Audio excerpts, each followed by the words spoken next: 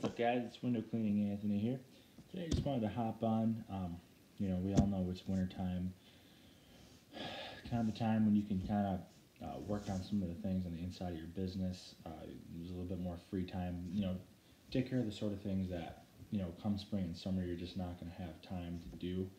Um, so, one of the things that I set out to do this winter is to really find um, a new software for me that works out.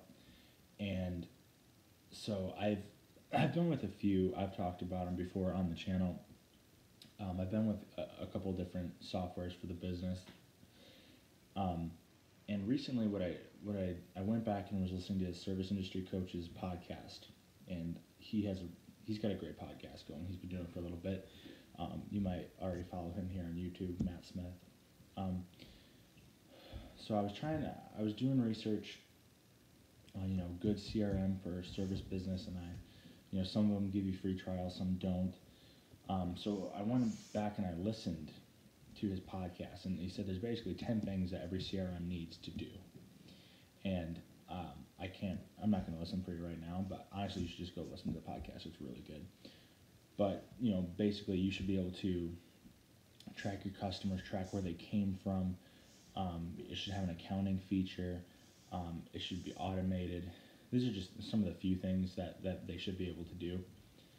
Um, and realistically, if you're doing residential services, you kind of you have to have a CRM, or I mean, a CRM can be kind of whatever you use, but a, a dedicated CRM really needs to be in place for you to be at like full automation, at least as a one-person show. But even further than that, just to stay organized, you need to have something like that. So I've moved around a lot with what I use, and, and that can be a real pain. But recently, I found the one I, I'm not, I don't plan on going anywhere with this because this CRM that I started using is called Markate, M A R K A T E. Does everything I need, and honestly, way beyond. It does everything and more than what is talked about in Service Industry Coaches podcast about the 10 things you need in a CRM. It hits every single bullet point on the head, and it goes even further with it. the reason I'm making this video is to talk about what I've been doing since yesterday, which is going through. I imported all my contacts from another uh, service I was using, but how do you organize your storefronts in your customer customer uh, database? So for me, I do storefronts only in the wintertime. Well, I do them all year, but I that's all I'm doing in the wintertime. In the spring and summer, I'm doing tons of residential. I'm getting people that want quotes. I'm doing sending them quotes. I have customers that are converting. So, how do you keep those separate? Is kind of the thing. How do you?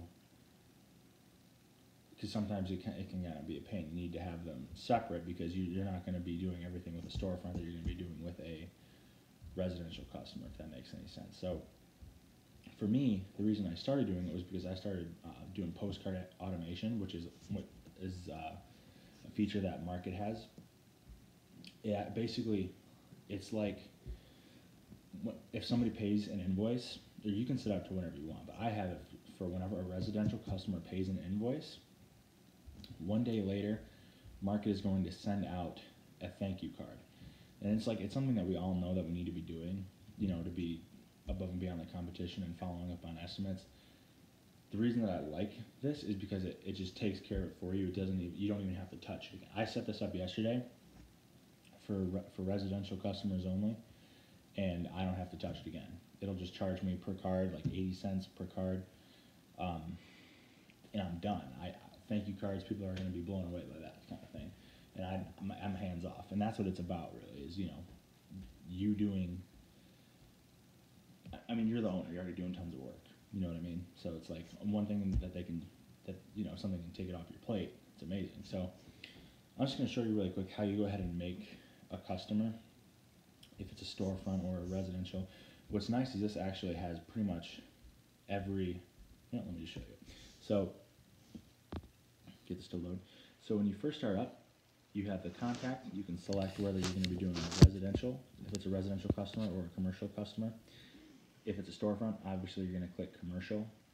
Um, anything else you know, residential is residential. So you put in their name, their email, and this is nice because if you're on the phone with somebody, this is for a customer. This isn't for an inquiry. This is like somebody that you know is a customer already. So maybe I should show you that instead at an inquiry. So we'll come back to the customers. But so inquiries is like oh, Snapchat.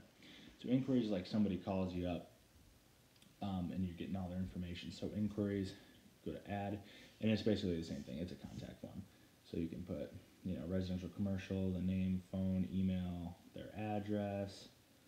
Um, you can put in more info, so like where they, they found out about you in any notes. So this is huge. Source is like huge for me because um, you need to track what marketing works for you. You know what I mean? So if, if you're getting a lot more inquiries from one place or the other, you know, you know what to up and, and what to cut back on. But that's also going to remind you to ask people.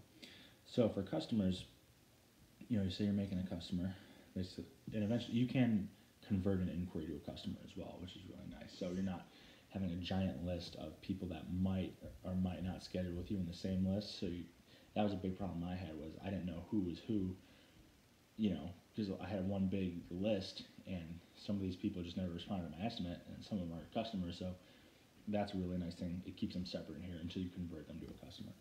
So you go ahead, put on all their information. Now the reason that I like this for storefronts, or even uh, some notifications, notify by email, notify by text.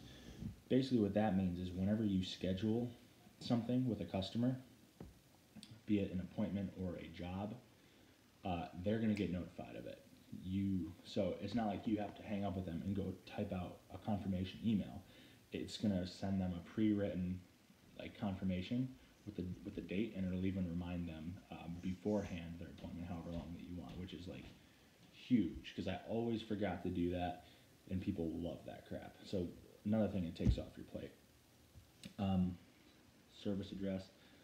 Um, and group. Group is what I really wanted to touch on for storefronts, how we organize storefronts, because within your customer database, you're going to have different groups of customers. Like for us, it's going to be residentials, probably storefronts, maybe commercial buildings are a couple of groups that you want to have. Maybe you have a group of customers that are, you know, networked together, or there's a, you have a whole bunch of stores and you want, you know, sometimes you want to just pull up that list of people like if you have like 20 Wendy's, you can group them into one group called Wendy's corporate. And then you can go into that group and you can send things to that group. You can exclude that group from certain things.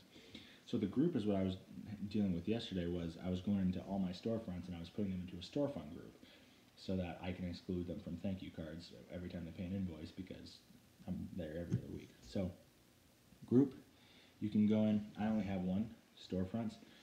Um, you can add you can add new groups as well. So add a new group, you can be whatever the heck you want. But what I really enjoy about this is it, it keeps it organized and it automates so much for you. It, for me, I found it automates the stuff that I always procrastinated on, like following up uh, with estimates. It'll automatically follow up on estimates. Um, sending confirmation emails. That stuff that like everybody knows you should be doing, but if you don't have like an office person constantly doing it, you're not to probably do it if you're busy. You know what I mean? And that's me. I I knew I should be doing it, but I just for whatever reason couldn't bring myself to do it all the time. So, and even another thing it does um, with certain customers, you can set it up for um, to automatically ask for a review. So you can set that up when that when it asks for that as well. So like if you finish an invoice or whatever, or when they pay you, it'll automatically send them a link um, asking for a review, and you can type out um, you know, the message, how, you know, what you want the, the review message to say, what links you want to show up for them. It just does so much that it takes a lot of the work off of you because there's so many little things that we should be doing to keep in good contact with our customers, but we're just busy and there's so many little things. And this basically, you set it up one time for your customer and like you're done. You don't have to worry about it. So that's kind of one thing I meant to just talk about really the groups for storefronts in this video, but I kind of just went off on a tangent. so sorry about that. But um, yeah, so the, the software is called Markate, M A R K A T E, it's twenty five dollars a month. I mean, seriously, like it's twenty five bucks a month. It's for all that. I mean, I didn't even touch on everything it does as far as estimates and and invoices and everything. Obviously, you can pay invoices online through text with it. It's ridiculous. So I'm probably have to make a couple more videos about this as I use it more through the residential season. But yeah, I, I cannot recommend Markate enough. This is what I am using. I, I'm fully switched over. I'm done with all that other. I used a lot of other stuff and I'm just done with it now because this does everything that I need to and it just takes so much off of my plate.